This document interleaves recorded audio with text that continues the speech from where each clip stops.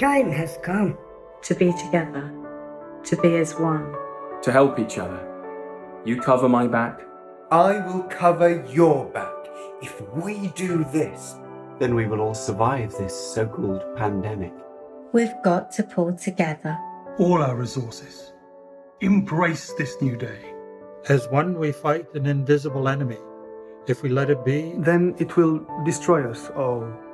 So to be one like him will strengthen our position. And soon we will overcome this enemy, and united we will have to be.